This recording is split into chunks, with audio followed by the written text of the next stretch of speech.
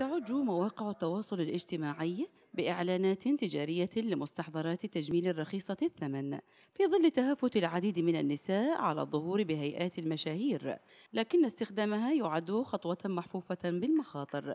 لارا واحدة من هؤلاء النسوة اللاتي أقبلن على شراء المستحضرات رخيصة الثمن.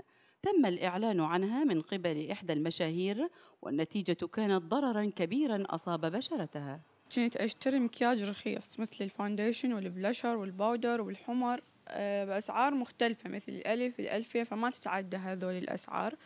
لذلك سببت لي آه، كلف وحبوب بالبشرة فلذلك قررت أنه أروح للدكتور وأعالج. ويؤكد عاملون في مجال الطب التجميلي أن هؤلاء البائعين لا يدركون مخاطر استخدام المستحضرات المصنعة.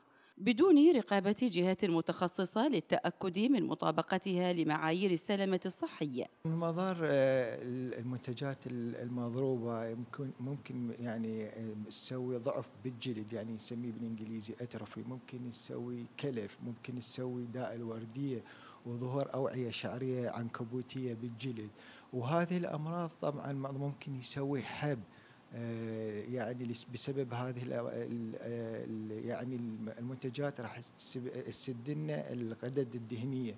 وبات من السهل الحصول على المنتجات المغشوشة في ظل توسع منافذ التسوق الإلكتروني بحسب ما يؤكد موردون سيما البضائع الواردة من الصين والتي تعد من المصادر الأكبر للمنتجات المزيفة والتي تتسبب بحروق جلدية لمستخدميها. المكياج دائما جاي يجينا بصورة رديئة. بسبب عدم الرقابة بسبب يعني يمكن القمرق المواد اللي جاي توصل لنا.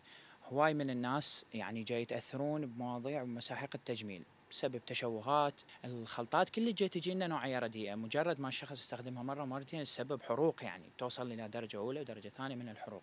وشددت وزارة الصحة على ضرورة الامتناع نهائيا. عن استيراد أو تداول أي منتج طبي أو عشبي أو مكملات غذائية أو مستحضرات تجميل إلا بعد حصولها على ترخيص من وزارة الصحة العامة وفرضت تدابير قانونية على المخالفين لتلك التعليمات.